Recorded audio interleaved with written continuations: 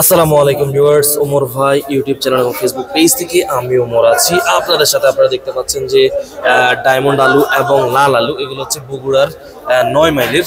তো আজকে ঢাকা কারণ বাজারে বগুড়ার এই লাল আলু এবং ডায়মন্ড আলু বিক্রি হচ্ছে যারা যারা বস্তা দরে বিক্রি করছেন, তারা বিক্রি করছেন হচ্ছে তেত্রিশ টাকা থেকে তেত্রিশ টাকা পঞ্চাশ পয়সা।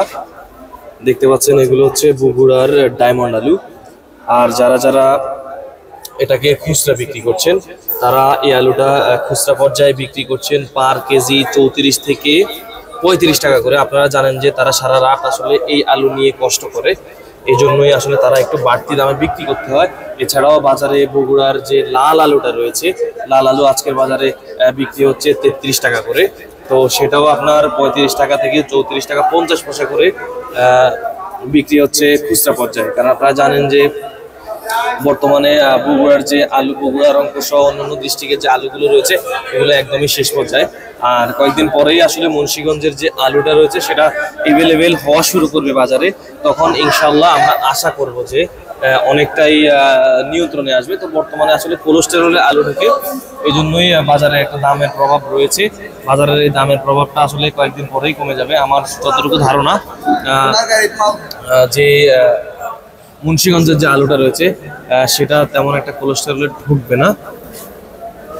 বর্তমান সময়ে আসলে কোলেস্টেরলে ঢুকে এটাও প্রয়োজন রয়েছে। আপনারা জানেন যে সারা বছর আমাদের আলুর চাহিদা পূরণের জন্য এই কোলেস্ট্রলে আলুগুলো রাখা অনেক প্রয়োজন। আর নয়তো আমরা আসলে সারা বছর আলু পাবো না। অন্য অন্য দেশের উপর নির্ভরশীল থাকতে হবে। আমাদের দেশেও কিন্তু প্রচুর পরিমাণে চাষ হয়। আপনারা জানেন আমাদের দেশটা কিন্তু অনেক ছোট একটা দেশ। তো এই ছোট দেশের মধ্যে মোটামুটি চাষ হয় আলহামদুলিল্লাহ। তারপরে আমাদের জনসংখ্যা অনেক বেশি, এজন্য আমাদেরকে অনেক কিছু ভেবে আসলে কোলেস্টেরল এবং পেঁয়াজ চাঙ্গে রাখতে হয়, আলু কোলেস্টেরলে রাখতে হয়। তারপর সারা বছর গাজরের চাহিদা মেটানোর জন্য গাজরও কিন্তু কোলেস্টেরলে রাখতে হয়। এই জন্য যখন কোলেস্টেরলে পণ্যগুলো ঢুকে তখন প্রচুর দাম বেড়ে যায়। প্রচুর দাম না বাড়লেও আসলে কেজি প্রতি পাঁচ ছয় টাকা করে বেড়ে যায়। আপনারা জানেন যে যখনই আলু কোলেস্টেরলে ঢোকা শুরু করে দিয়েছে, তখনই আসলে বাইশ তেইশ টাকা পাইকারি পর্যায় থেকেই চলে গিয়েছে ছাব্বিশ, সাতাশ টাকা। আর এখন সেটা বিক্রি হচ্ছে তিরিশ টাকা থেকে দুঃখিত, তেত্রিশ টাকা থেকে বত্রিশ টাকা অথবা প্রিমিয়াম যদি হয়, সেগুলো বিক্রি হচ্ছে আপনার চৌত্রিশ টাকা করে। আর কিছু কিছু আলু রেস্টুরেন্টে যায়। একদম ভালো ভালো সাইজের আলুগুলো সেগুলো আপনার চল্লিশ টাকা করে ওনারা ঢাকা কারণ বাজার আলু বিক্রি করছেন। আপনারা দেখতে পাচ্ছেন রেস্টুরেন্টের জন্য এখান থেকেই আসলে বেছে বেছে প্রিমিয়াম কোয়ালিটির আলুগুলো তারা এদিকে প্যাক করে। ভাইয়া এগুলো কোন জায়গার আলু? বগুড়ার আলু। ভিউয়ার্স দেখতে পাচ্ছেন এগুলো হচ্ছে বগুড়ার আলু। বগুড়ায় প্রচুর পরিমাণে আলু চাষ হয়। আমি যতদূর আগে জানতাম যে বগুড়ায় দই হয় খুব ভালো, কিন্তু এখন দেখতে পাচ্ছি যে বগুড়া প্রচুর আলু চাষ হয়।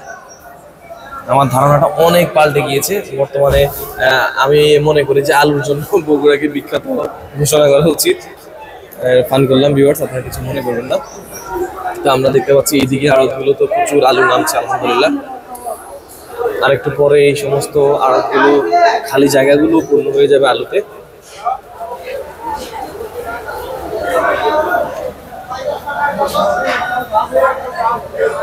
সিজন আসলে শেষ হতে আরও কিছুদিন সময় লাগবে। আর মুন্সিগঞ্জের আলুর সিজন কিন্তু কিছুদিনের মধ্যেই পরিপূর্ণভাবে শুরু হয়ে যাবে। এখনও আসলে ওইভাবে মুন্সিগঞ্জের আলুটা বাজারে আসা শুরু করে নাই। অনেক কিউট মাশাআল্লাহ। আসো আসো আসো।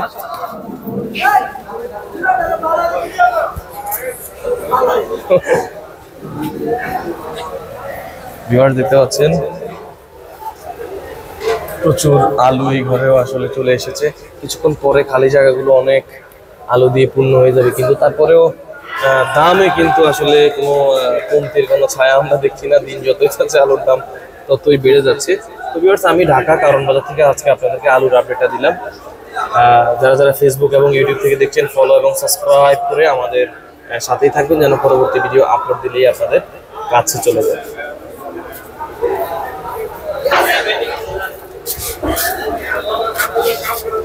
嗯好的嗯好的